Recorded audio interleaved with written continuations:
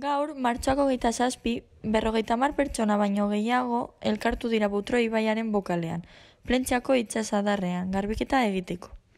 Maria bizien ondorioz, itxasuetako zaborra kostaldera iristen da eta asko zerrazagoa da ingurunetik kentzea. Guazen apek antolatuta, familiak, gazteak edo adinekoak bertaratu dira gaur goizean, itxasoan amaitzen den ondakin kopuruagatik dagoen arazoarekin kontzientziatuta. Hoy, 27 de marzo, se han juntado más de 50 personas para realizar una limpieza en la desembocadura del río Butrón, la ría de Plencia. Debido a las mareas vivas de esta época, la basura de los mares llega a la costa y resulta mucho más fácil retirarla del entorno. A esta mañana organizada por WhatsApp han acudido tanto familias como jóvenes o mayores concienciados con el gran problema que existe por las cantidades de residuos que terminan en el mar.